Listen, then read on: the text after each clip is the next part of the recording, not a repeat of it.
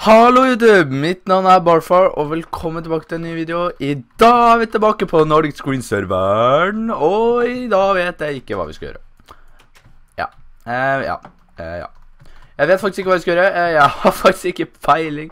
Eh, fordi det er, jeg fant ut at nå må jeg faktisk rekorde en episode. Eh, det er en stund siden jeg har lagt det ut, og det beklager jeg veldig at det helt tatt ikke har kommet video den siste par ukene, eller hva det er for noe. Eh, men jeg er i gang igjen nå, og jeg håper det skal gå mye bedre. Eh, ja. My food is Oi, det hadde masse egg. Så får vi kaste litt mer. Kom igjen. Sånn. Så ett til. Oi. Ops. Unnskyld.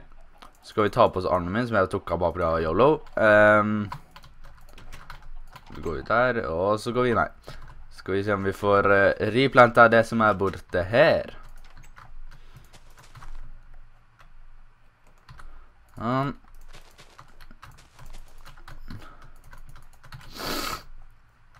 Sånn, ok, sånn, ja. Um, da er ølene en, en ikke skulle ligge. Ops. Uh, ja. Uh, jeg kan si litt hvorfor uh, det ikke har vært video den siste uken. og det er rett og slett fordi Først av alt så var det jo Så var det under en På onsdag nå om onsdag så tok jeg lett mot skyggelappen. Da hadde jeg oppkjøring der, og jeg måtte øvelseskjøre mye for å liksom få trafikken ordentlig, altså sånn så jeg klarte å kjøre ordentlig. Så det drev jeg da med fra torsdag før 17. mai til den onsdagen. Da kjørte jeg hver dag. Eh, bil kjørte jeg da, men eh, fordi jeg hadde ikke noen motorsykkel å kjøre med. Eh, og da kjørte jeg bil hver dag, og det kjørte en del. Og så var det 17. mai, og så var jeg borte. Og liksom, det var 17. mai-helga, og da er det litt vanskelig å liksom Liksom, ja, få til noe videre, da. Um, jeg kan lage brød ut av den weeden Den weeden jeg fikk. Så kan vi legge inn seeds et eller annet sted her. Vi legger dem inn her. Sånn. Ja, my and my system. Me and my system, liksom. Um, det jeg tenkte vi kunne gjøre i dag, det var eh, Det jeg tenkte nå, var først å ta bort her.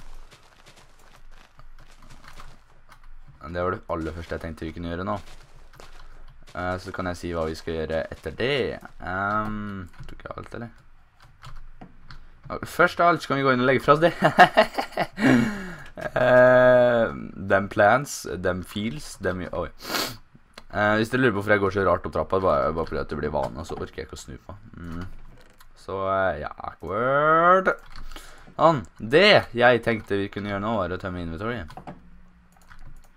Legger oss den og den. Sånn. Uh, jeg husker ikke om det har blitt visst, men jeg har i hvert fall en Efficiency 5 pickaxe som jeg fikk av Valde, tror jeg. Fordi han, han spurte var det noen som trengte litt gravel, og jeg ga han tre stacks med gravels eller noe, så fikk jeg en Deficiency 5 pickaxe, og tusen takk til Valde. Uh, shout out! Uh, for dere som ikke har hørt om han, han er uh, en som er mye på serveren her. Akkurat nå er det ingen som er på, fordi jeg filmer dette klokka 11 på morgenen. Uh, og så hvis dere ikke har sett det her, så har jeg også drevet med alt det her, Uh, det har jeg brukt veldig mye tid på. Fordi det er så utrolig mye jeg må mine og avkoble, altså. Men det jeg tenkte vi kunne gjøre, var å gå, gå og se litt på den andre sitt hus, fordi det er ingen her, så hvorfor ikke, liksom? Det er ingen som recorder eller noe nå, så jeg kan bare gå og se litt. Eh, lampe der, jeg kan gå og se på etterpå, hvis jeg rekker.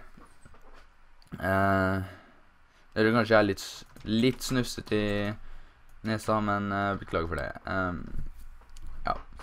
Skal vi gå, skal, skal vi gå hen først, da? Skal vi gå bort til Truls eller Multiguru først? Nei, Multiguru er der. Vi går bort til Mitch først. vi. Mitch er vel den som har størst hus her. Å, oh, inntil Valle, ja. ja. Vi må gå over til Valle etterpå. Det syns jeg. Vi kan gå over til å starte med Mitch. The captain. Mitch the captain. Uh, ja, jeg lurer på hva som har skjedd her. Å ja. Det var etter den creeperen som bare tok Truls og bygde opp det litt, så Yolo! Eh, skal vi se. Her bor sjølveste Mitch the Captain, aka Mathias. Um, oi, unnskyld. Det var ikke noe viktig. Eh, Jeg kan se på det etterpå. Hvis vi går inn her og ser det The Amazing House of eh,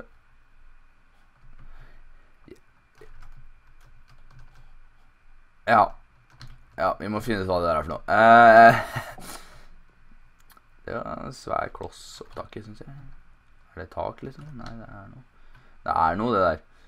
Det kan ikke bare være helt random, bare være hele den driten oppå, liksom. Eller er det bare at han prøver å lage et forskjell på tak? Er det det han prøver på, kanskje?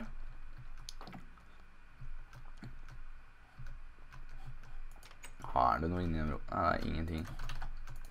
Det er ingenting inni det. Vi får gå ned igjen. Eh, vi kommer ikke opp der herifra, i hvert fall.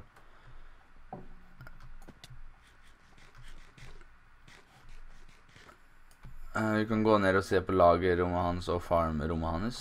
Det er noe han drev med i forrige episoden sin. Og det er quite impressive. Det synes jeg er quite impressive. Eh, her ligger liksom alt av moblut og d- skit og stæsj. Eh, jeg skal ikke ta noe fra han. Fordi det er ingen serveren her som liker å bli tatt noe fra. Så nei, jeg skal ikke ta noe. Eh, og så videre og så videre. Eh, nå må jeg bare se. Det er et forsøk på, tak, ja. Det var det det var. Uansett, Mathias, jeg er imponert. Eh, du har gjort en kjempejobb. Eh, vi kan egentlig bare rusle tilbake eh, til et neste mann. Hvem skal gå til neste? Var det Oi, what the fuck? Ah, lag. Vi kan gå over til Valde. Kan vi gå over til nå. Jeg tror ikke det er noen som bor den veien der. Eh, jeg tror ikke det er noen som bor den veien der. Vi kan i hvert fall gå bort til Valde, som er inntil left her. Inntil left. Vi kan gå inn til Valde. Skal vi se åssen det ser ut som Valde, for der tror jeg ikke har vært. Å ja, stemmer det er dem her, ja. Han her. Har endelig fiksa døra, det er bare hyggelig.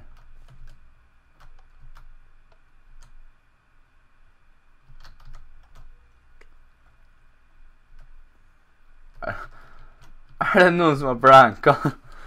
Herregud. Er det mulig? Volde får gjennomgås. Etter han starta pranken mot Truls, så får, får Valde virkelig gjennomgå. Eh, går det an å komme inn så man kan se her, da?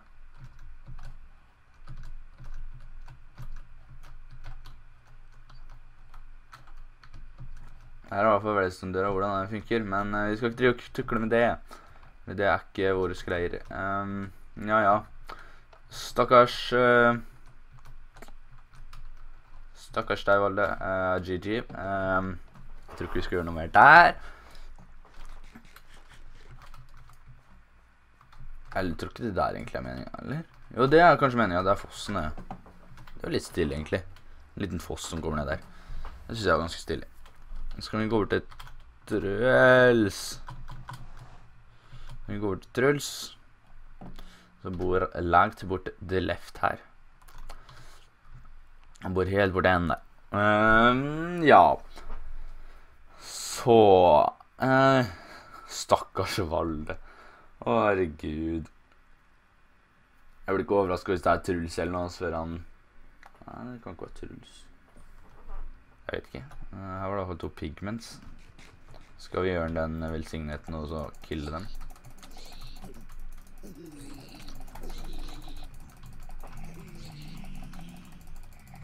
Dem jo. Eh, Jeg tror ikke det mener at du skal åpne der, men eh, ja, ja. Det var i hvert fall opp der. Så her har vi selveste Truls sitt du.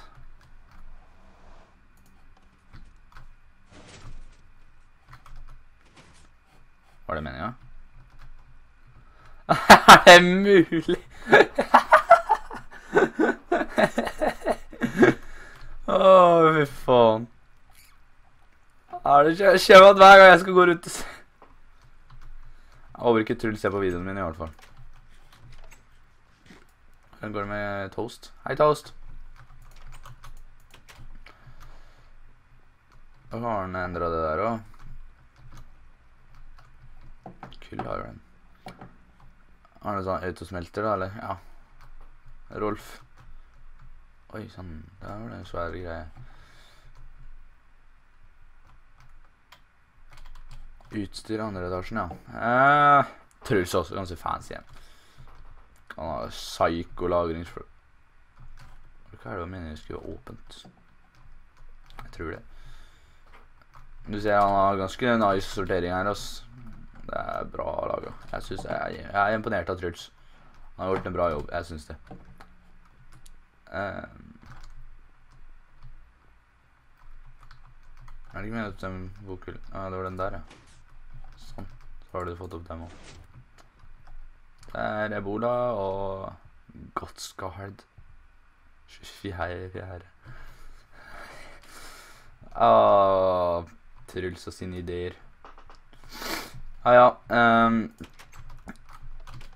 vi får prøve å komme oss hjem igjen ut fra det vannet her. Ja. Jeg lurer på hvor jeg stiger opp til. Farmlandet går som smurt. Ja. Farmland går så smurt. Um,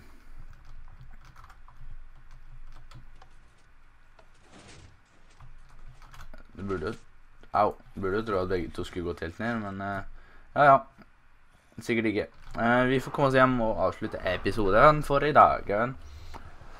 For i dagens episode er ferdig når jeg har kommet hjem. Um, klikke på den hvis jeg klarer. Sånn. Og så kommer den der. Sånn. Oi! Jeg liker den han laga der. Vi kan mute bare mens vi kjører her bortover her. For det er gøy så fryktelig lyd det er på rollercoasteren. Eh, nå muta jeg hele PC-en, bare sånn. Så dere vet det. Men dere hører jo meg. Eh, så kan jeg bare trykke shift her. Eller caps da, for den saks skyld. Sånn. Ha det bra.